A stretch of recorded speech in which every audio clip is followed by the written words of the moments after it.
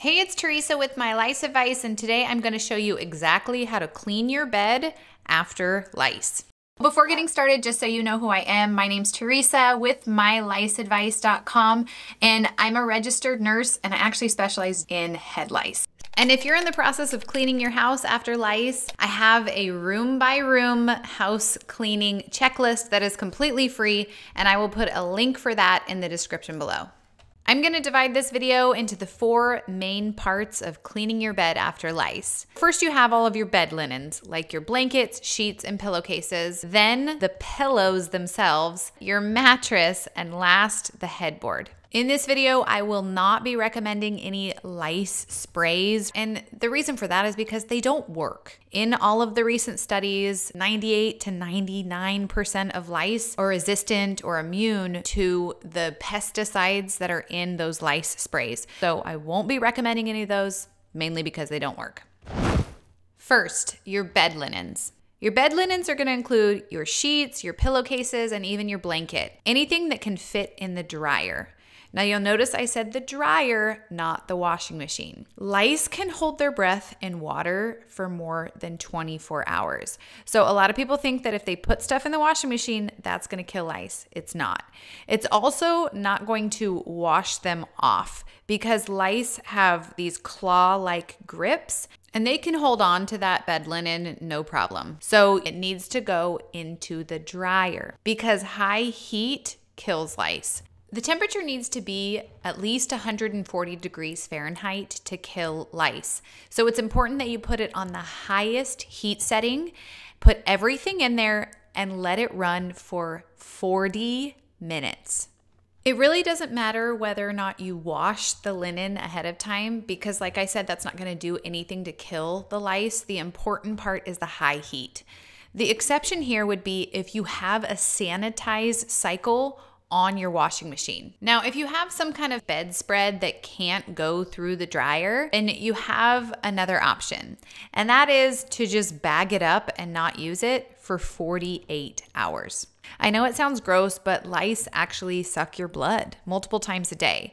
And if they can't, then they quickly die.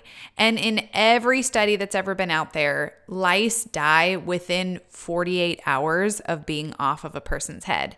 So if you have a fancy blanket or something like that that can't go through the dryer, just bagging it up and not using it for 48 hours. Next, your pillows.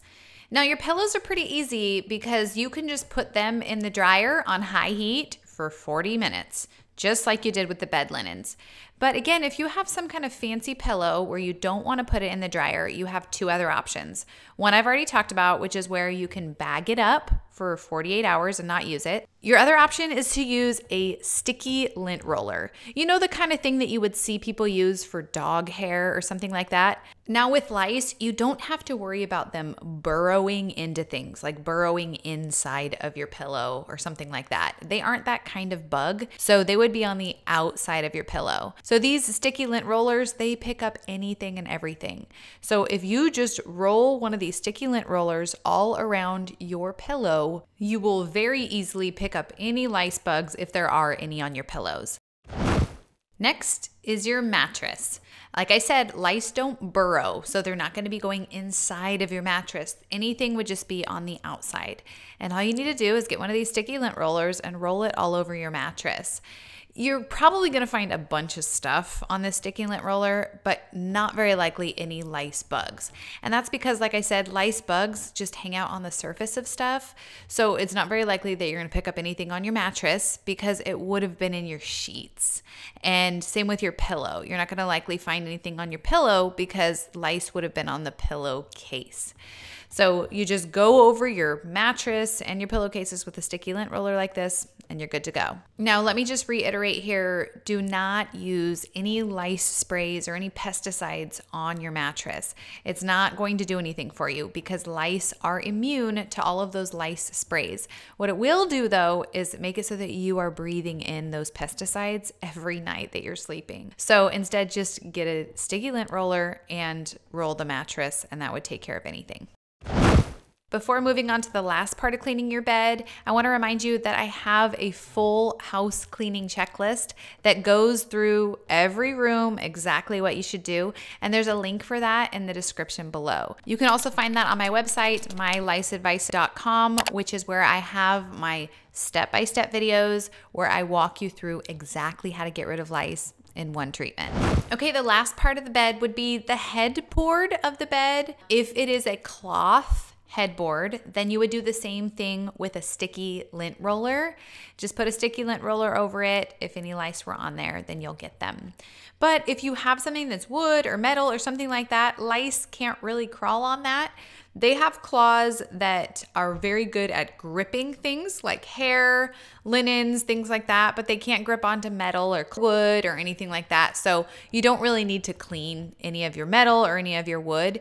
If you really want to, then all you would need to do would just be to wipe it down with any old wet cloth. So if that's what you want to do with your time, you're welcome to, but it's not really necessary. Let's do a quick review. Remember the bed linens, you're gonna put them in the dryer on high heat for 40 minutes. Water doesn't kill lice, but high heat does. And your pillows themselves, you can just rub those down with a sticky lint roller or you can bag them up for 48 hours. As well as your mattress, you can just have a sticky lint roller, clean it up that way, but do not put any pesticide sprays on your mattress because you'll just be breathing that in and it doesn't really kill lice anyway. And last, if you have a cloth headboard, you can just use a sticky lint roller for that as well because lice don't really climb on metal or wood. So no need to worry about that. And if you do have lice and you'd like some help, then head over to myliceadvice.com. There's loads of free resources there, including a free house cleaning checklist specific to head lice. So that's it for today. Be sure to like and subscribe below. And if you have a comment, feel free to leave a comment. And if you have discovered lice, then head over there and check out that step by step video system. I'll see you there.